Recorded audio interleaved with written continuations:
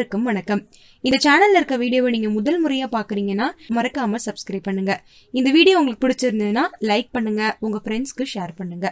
மேஷம் முதல் மீனம் வரையிலான பன்னிரண்டு ராசிகளுக்கும் மே மாத ராசி பலனை தான் இந்த வீடியோல பார்க்க போறோம். மே மாதத்தில் சூரியன் மேஷம் ராசியில் பாதி நாட்களும் ரிஷபம் ராசியில் பாதி நாட்களும் சஞ்சரிப்பார். உச்சம் பெற்ற சூரியனின் நகர்வு சில ராசிக்காரர்களுக்கு மாற்றத்தை ஏற்படுத்தும். இந்த மாதம் ஆண்டு கோள்களின் சஞ்சாரத்தை பார்த்தால் ராகு மிதுனம் ராசியிலும் கேது தனுசு ராசியிலும் சஞ்சரிக்கிறார். சனி குரு மகரத்தில் சஞ்சரிக்கின்றனர். சனியுடன் கூட்டணியில் இருக்கும் செவ்வாய் மாத முற்பகுதியிலே கும்பம் ராசிக்கு மாறுகிறார். இதனால் பலருக்கும் நிம்மதி பெருமூச்சு ஏற்படும். மேஷம் முதல் மீனம் வரை உள்ள பன்னிரண்டு ராசிக்காரர்களுக்கும் இந்த கிரகங்களின் சஞ்சாரம் என்ன பலன்களை கொடுக்கும் ஏதாவது பாதிப்பு ஏற்படுமா என்பதை பார்க்கலாம். கிரகங்கள் இந்த மாதம் இடம் மாறுகின்றன. மாத பிற்பகுதியில் சூரியன் ரிஷபம் ராசிக்கு மாறுகிறார். செவ்வாய் கும்பம் ராசிக்கும் நீசம் பெற்றிருக்கும் புதன் மேஷம் ராசிக்கும் ரிஷபம் ராசிக்கும் இடம் மாறுகிறார். சனி வக்ரம் அடைகிறார் இந்த கிரகங்களின் சஞ்சாரம் இடம் மாற்றங்களினால் என்னென்ன பாதிப்பு ஏற்படும் என்று பார்க்கலாம். வெயிலின் கொடுமையும் கொரோனா தாக்கவும் மக்களை வாட்டி வதைக்கிறது. இந்த பாதிப்பு எப்போது நீங்கும் என்பதே அனைவரின் கேள்வி. மனதளவில் சோர்ந்து போயிருக்கும் மக்களுக்கு ஆறுதல் அளிக்கவும் தன்னம்பிக்கை தரவும் இந்த மே மாத ராசி பலன்களை சொல்கிறோம். மே மாதம் மேஷம் முதல் மீனம் வரை உள்ள ராசிகளுக்கு எப்படி இருக்கும்னு பார்க்கலாம். சூரியன் மேஷ ராசியிலிருந்து ரிஷப ராசிக்கு மே பதினான்கு அன்று பெயர்கிறார். மேஷ ராசியில் சூரியன் உச்சம் பெறுவது ஒரு குறிப்பிடத்தக்க நிகழ்வாக உள்ளது. சுக்கிரன் இந்த மாதம் முழுவதும் ரிஷப ராசியில் சஞ்சரித்தாலும் மே பதிமூன்று அன்று வக்ரகதி அடைகிறார். குரு மகர ராசியில் இந்த மாதம் முழுவதும் சஞ்சரித்து மே பதினான்கு அன்று வக்ரகதி அடைகிறார். ராகு மிதுன ராசியிலும் கேது தனுசு ராசியிலும் இந்த மாதம் முழுவதும் சஞ்சரிப்பார்கள்.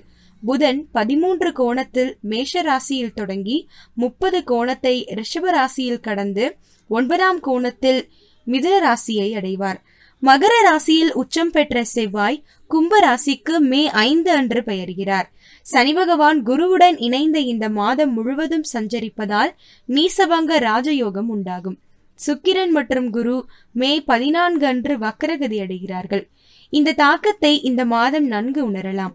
செவ்வாய் உச்சத்திலிருந்து மாறி சுக்கிரனை பார்வையிடுவதால் உலகில் இருக்கும் அநேக மக்களுக்கு தங்கள் உறவுகளுடன் பிரச்சனைகள் ஏற்படக்கூடும்.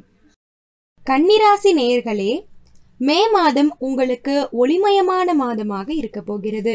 சூரியன் புதன் எட்டாம் வீட்டில் இருக்கும்போது மாதம் பிறக்கிறது. நிறைய சிரமப்பட்டு கொண்டு இருக்கிறீர்கள். நோயுடன் போராடி கொண்டிருக்கிறது உலகம். எப்படா இந்த பிரச்சனை முடிவுக்கு வரும் என்று யோசிக்கிறீர்கள். ஆரம்பத்தில் ரொம்பவே கவனமாக இருங்க. வீட்டை விட்டு வண்டி வாகனங்களில் போக வேண்டாம். மாத பிற்பகுதியில் சூரியன் எட்டாம் வீட்டிலிருந்து ஒன்பதாம் வீட்டிற்கு போவதால் ரொம்ப ரிலாக்ஸ் ஆவீர்கள். அப்பாவின் உடல் ஆரோக்கியத்தில் கவனமாக இருங்க. சின்ன சின்ன தொந்தரவுகள் வரலாம். அரசு விஷயங்கள் தொடர்பாக பேசும்போது கவனமாக பேசுங்க. அரசியல்வாதிகளை விமர்சனம் செய்து பிரச்சனையில் சிக்கிக் கொள்ள வேண்டாம். கன்னிராசிக்கு மாத பிற்பகுதியில் வியாபாரத்தில் இருந்த தடைகள் விலகும். நிம்மதி பெருமூச்சு விடுவீர்கள். மீடியா துறையிலும் திரைப்பட துறையில் இருப்பவர்களுக்கு இருந்த பிரச்சனைகள் முடிவுக்கு வரப்போகிறது.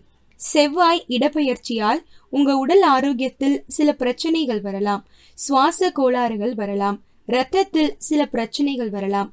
கால்களில் எரிச்சல் வலி வரலாம். சத்தான உணவுகளை சாப்பிடுங்கள். உணவு விஷயத்தில் அக்கறை காட்டுங்கள். செவ்வாய் பகவானை வணங்குங்கள். வீட்டு சமையலில் துவரம்பருப்பை சேர்த்து கொள்ளுங்கள். எந்த முடிவு எடுத்தாலும் யோசித்து எடுங்க. வேலை விஷயத்தில் கவனமாக இருங்க. அவசரப்பட்டு எந்த வேலையையும் விட வேண்டாம். இந்த மாதம் நீங்கள் சுமாரான பலன்களையே காண்பீர்கள். உங்கள் கடின முயற்சிகள் திருவினையாகும். உரிய பலன் தரும். பணவரவு நன்றாக இருக்கும். அண்டை அயலார் சகோதரர் வழியில் நல்ல பலன்களை அடைவீர்கள். வெளியூர் பயணங்களால் ஆதாயம் உண்டு சிலருக்கு வாகனங்கள் வாங்கும் வாய்ப்பு உண்டாகும். வேலையில் இடமாற்றங்களும் ஏற்படலாம். திருமண வாழ்க்கை சுமூகமாக இருக்கும். தந்தையின் உடல்நிலை நலமாக இருக்கும். எனினும் தாய் மற்றும் வாழ்க்கை துணையின் உடல்நிலையில் எச்சரிக்கை தேவை. தொழில் சாதாரணமாக நடைபெறும் என்றாலும் அதில் லாபங்கள் தடைபடக்கூடும். சிறு கஷ்டங்கள் இடையிடையே வந்து போகும் வாய்ப்புள்ளது. காதலுக்கு இது மந்தமான மாதமாக இருக்கும். காதலர்களுக்கும் இது பொருந்தும். சில காதலர்களுக்குள் மனக்கசப்பு ஏற்படவும் வாய்ப்புள்ளது. அதே நேரம் ஒரு சில காதல் திருமணத்தில் முடியும் வாய்ப்பும் உருவாகும். மனைவியின் உடல் நலத்தில் அக்கறையுடன் இருக்கவும். சிலருக்கு திடீர் வெளியூர் பயணங்கள் ஏற்படலாம். நிதிநிலை சுமாராக இருக்கும். சிலருக்கு தந்தை மூலம் வருமானம் பெருகும். உங்கள் வருமானம் உங்களது அனைத்து பொறுப்புகளையும் நிறைவேற்றுவதற்கு போதுமானதாக இருக்கும். அரசாங்க விவகாரங்களில் கவனம் தேவை. நீங்கள் மிக்க நேர்த்தியாகவும் சிறப்புடனும் பணியாற்றுவீர்கள். இது பணியிடத்தில் உங்களுக்கு ஒரு தனி அடையாளத்தை ஏற்படுத்தி கொடுக்கும். இருப்பினும் சிலருக்கு இடமாற்றம் ஏற்படலாம். ஒரு சிலர் வேலையும் இழக்கக்கூடும் எச்சரிக்கையாக இருக்கவும். நீங்கள் எதிர்பார்க்கும் வெற்றி தாமதமாக கிடைக்கலாம். ஆனால் நீங்கள் நிச்சயமாக வெற்றியடைவதோடு நீடித்த கௌரவம் பெறுவீர்கள். எந்த வகையான வேலையை எடுத்து செய்தாலும் இப்பொழுது அதை சிறப்பாக செய்து முடிப்பீர்கள். ஆனால் தொழில் வகையில் சில மன சஞ்சலங்கள் ஏற்படலாம். எண்ணங்கள் ஒரே சீராக செயல்படாமலும் போகலாம். எனவே கவனமாக இருக்கவும். உங்களுடைய செயல்திறன் மூலம் நன்மையான பலன்கள் கிடைக்கும். பணியிடத்தில் நீங்கள் தனிப்பட்ட திறமைகளை வெளிப்படுத்தும் வகையிலும் நீங்கள் செயல்படுவீர்கள். இவ்வாறு செய்வது உங்கள் தன்னம்பிக்கையை மேம்படுத்தும். கன்னிராசி அன்பர்களுக்கு இது நல்ல ஆரோக்கியம் தரும் மாதமாக அமையும். ஏதாவது நோய் உங்களை பாதித்திருந்தாலும் அது இப்பொழுது நன்கு குணமாகி உடல்நிலை முன்னேற்றமடையும். நீங்கள் மன அழுத்தம் இல்லாத அமைதியான வாழ்க்கையை அனுபவிக்க முடியும். இந்த காலகட்டத்தில் சித்த மருத்துவத்துக்கு முக்கியத்துவம் அளிப்பது நன்மை தரும். படிப்பதற்கும் சிறந்த கல்வி அனுபவத்தை பெறுவதற்கும் இது சரியான நேரம் எனலாம். உங்களது திறந்த மனதும் பரந்த மனப்பான்மையும் உங்கள் தனிப்பட்ட திறமைகளையும் நற்பெயரையும் மேம்படுத்த உதவும். உங்கள் செயல்திறனால் பெற்றோர்களும் மகிழ்ச்சி அடைவார்கள் சூரியன் உங்கள் ராசியின் எட்டு மற்றும் ஒன்பதாம் வீட்டுக்கு பெயருவது இந்த மாதம் உங்களுக்கு சாதகமற்ற நிலையை காட்டுகிறது. ராகு உங்கள் ராசியின் பத்தாம் வீட்டிலும் கேது நான்காம் வீட்டிலும் சஞ்சரிப்பதால் நல்ல பலனை எதிர்பார்க்க முடியாது. செவ்வாய் உங்கள் ராசியின் ஆறாம் வீட்டிற்கு மே இரண்டாயிரத்தி இருபது அன்று பெயருவதால் உங்கள் குடும்பத்திற்கு நல்ல செய்தி வரும். குரு மற்றும் சனி பகவான் இணைந்து உங்கள் ராசியின் ஐந்தாம் வீட்டில் சஞ்சரித்து உங்கள் அதிர்ஷ்டத்தை பல மடங்கு அதிகரிப்பார். சுக்கிரன் உங்கள் ராசியின் ஒன்பதாம் வீட்டில் வக்கரகதி அடைவது மற்றும் ஒரு நல்ல விஷயம்.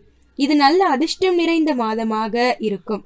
இந்த மாதம் உங்கள் வாழ்க்கையில் நல்ல திருப்தியையும் சிறப்பான வளர்ச்சியையும் நீங்கள் எதிர்பார்க்கலாம். குரு மற்றும் சுக்கிரன் நீங்கள் மன அழுத்தம் மற்றும் பதற்றத்திலிருந்து முற்றிலுமாக வெளிவர உதவுவார்கள். சரியான மருந்து கிடைத்து உங்களுக்கு இருக்கும் உடல்நல பிரச்சனைகளில் இருந்தும் உளவியல் பிரச்சனைகளிலிருந்தும் விரைவாக குணமடைவீர்கள். இந்த மாதம் நல்ல முன்னேற்றத்தை காண்பீர்கள். உங்கள் தன்னம்பிக்கையை முழுமையாக பெறுவீர்கள். செவ்வாய் நல்ல நிலையில் சஞ்சரிப்பதால் நீங்கள் இந்த மாதம் அறுவை சிகிச்சை செய்ய முயற்சிக்கலாம். உங்கள் பெற்றோர்களின் உடல்நலம் முன்னேற்றம் பெறும். உங்கள் மருத்துவ செலவுகள் குறையும். ஞாயிறு தோறும் ஆதித்ய ஹிருதயம் கேட்பது நல்லது. தியானம் மற்றும் கடவுள் வழிபாடு செய்வதால் சற்று ஆறுதலாக இருக்கும். காதல் விஷயங்களுக்கு இந்த மாதம் சிறப்பாக உள்ளது. நீங்கள் விரும்புபவருடன் இருக்கும் உறவில் நல்ல முன்னேற்றம் ஏற்படும். குரு மற்றும் சுக்கிரன் நல்ல நிலையில் சஞ்சரிப்பதால் உங்கள் காதல் விஷயங்களுக்கு இது நல்ல நேரம்.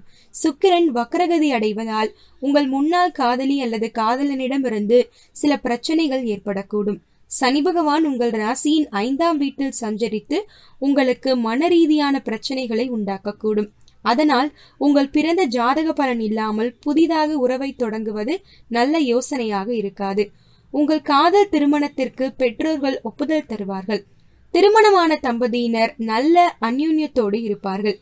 இயற்கையாகவோ அல்லது மருத்துவ சிகிச்சை மூலமாகவோ குழந்தை பெறும் பாக்கியம் உங்களுக்கு உள்ளது. நீங்கள் பெண்ணாக இருந்தால் உங்களுக்கு பிறந்த ஜாதக பலன் அதிகமாக இருக்க வேண்டும். இந்த மாதம் உங்கள் தன்னம்பிக்கையின் அளவும் நேர்மறை சக்தியின் அளவும் மேலும் அதிகரிக்கும். ஒரு தெளிவான குறிக்கோளை நிர்ணயித்து அதை நோக்கி செயல்படுவீர்கள். உங்கள் வெற்றியை அடைவதற்கும் விருதுகளை வெல்வதற்கும் நீங்கள் சரியான பாதையில் பயணிப்பீர்கள். உங்கள் நண்பர்கள் ஆசிரியர்கள் மற்றும் குடும்பத்தினர்களிடமிருந்து நல்ல பாராட்டுகளை பெறுவீர்கள். உங்கள் நண்பர்களுடன் நெருங்கிய நட்போடு இருந்தால் மகிழ்ச்சியாக இருப்பீர்கள். நீங்கள் விளையாட்டில் இருந்தால் இந்த மாதம் நாட்கள் நகர நகர சிறப்பாக செயல்படுவீர்கள். இந்த மாதம் குரு ஏழு ஆண்டுகளுக்கு பிறகு உங்கள் ஜென்ம ராசியை பார்வையிடுவதால் உங்கள் உத்தியோகத்தில் நல்ல மாற்றங்கள் ஏற்படும். நீங்கள் ஒரு பெரிய நிறுவனத்தில் வேலை பார்த்து கொண்டிருந்தால் உங்கள் குழுவாய் மாற்ற முயற்சிக்க இது ஏற்ற நேரம்.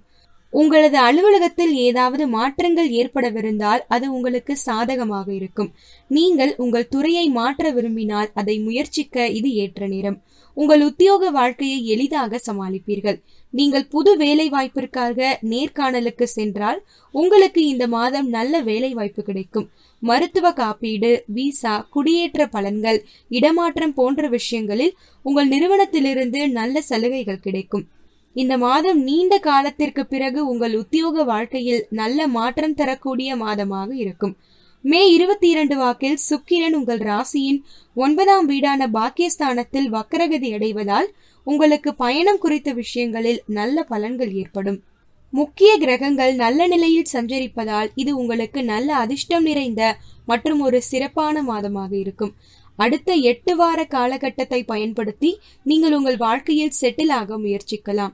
சனிக்கிழமை மற்றும் அமாவாசை நாட்களில் அசைவ உணவை தவிருங்கள் ஏகாதசி நாட்களில் விரதம் இருப்பது நல்லது. பெருமாளை வணங்கி உங்கள் நிதி நிலையில் அதிர்ஷ்டத்தை அதிகரித்துக் கொள்ளுங்கள். என்ன நேர்களே உங்கள் ராசிக்கான மே மாத பலன்களை பார்த்தீங்களா? இந்த வீடியோ உங்களுக்கு பிடிச்சிருந்ததுன்னா லைக் பண்ணுங்க உங்க ஃப்ரெண்ட்ஸ்க்கு ஷேர் பண்ணுங்க. இது போன்ற பல ஆன்மீக தகவல்கள் உங்களுக்கு தேவைப்பட்டா கமெண்ட் செக்ஷன்ல கமெண்ட் பண்ணுங்க. நன்றி.